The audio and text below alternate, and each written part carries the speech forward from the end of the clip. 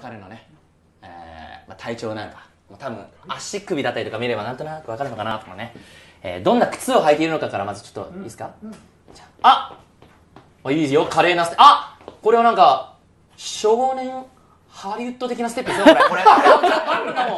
これいいよ。生足いいよ。あでっかい袋だ。ダメだな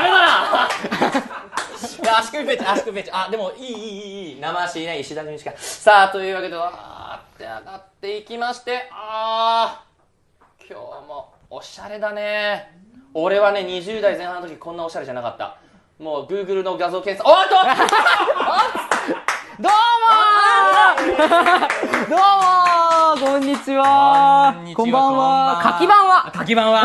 お前も今日も書いてる？